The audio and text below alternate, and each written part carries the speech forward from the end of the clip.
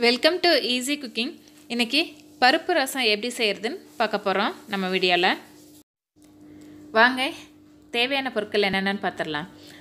ஒரு பெரிய எலுமிச்சை பழம் சைஸ்க்கு வந்து புளி ஊற வச்சு வச்சுருக்கோம். ரெண்டு கட்டி பூண்டு வந்து இடித்து வச்சுருக்கோம் தோல் சீவாமல் மூணு ஸ்பூன் அளவுக்கு மிளகு சீரகப்பொடி மூணு தக்காளி அரிஞ்சு வச்சுருக்கோம். கருவேப்பிலை கொஞ்சம் காஞ்ச மிளகாய் கொஞ்சம் பெருங்காயம். வாங்க எப்படி தாளிக்கிறதுன்னு பார்க்கலாம்.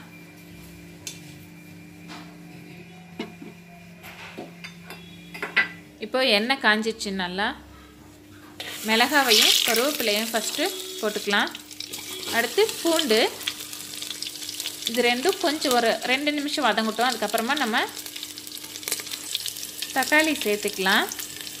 இப்போ கொஞ்சமாக வந்து பெருங்காயம் சேர்த்துடலாம். ஒரு அரை ஸ்பூன் அளவுக்கு பெருங்காயம் சேர்த்துக்கலாம். அடுத்து தக்காளி சேர்க்க போகிறோம் மூணு தக்காளி வந்து அரிஞ்சு வச்சுருக்கேன் நான். அதை சேர்த்துக்கிறேன் இப்போது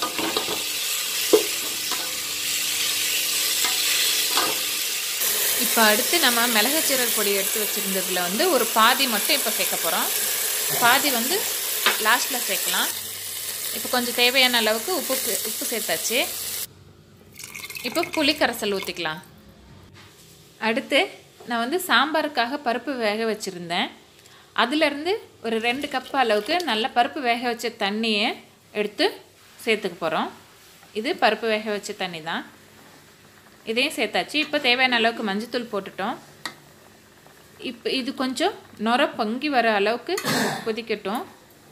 வெயிட் பண்ணலாம். இப்போ பாருங்கள் லைட்டாக ஒரே ஒரு இடத்துல மட்டும் லைட்டாக கொதிக்குது.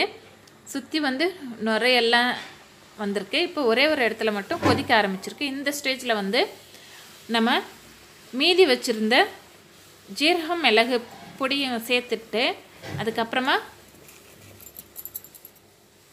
ஒரு ரெண்டு ஸ்பூன் அளவுக்கு மட்டும் நம்ம இதில் தண்ணி சேர்க்க போகிறோம் பாருங்கள் அந்த கொதி வர்ற இடத்துல அந்த மாதிரி சேர்த்துட்டு ஒரு ரெண்டு ஸ்பூன் அளவுக்கு தண்ணி சேர்த்துட்டு கொத்தமல்லி தூவி இறக்கிடலாம். அவ்வளோதான் நம்மளுக்கு பருப்பு ரசம் ரெடி ஆயிடுச்சு.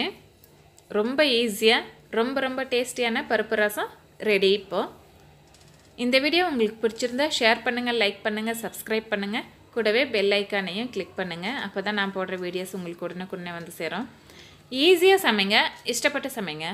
தேங்க்யூ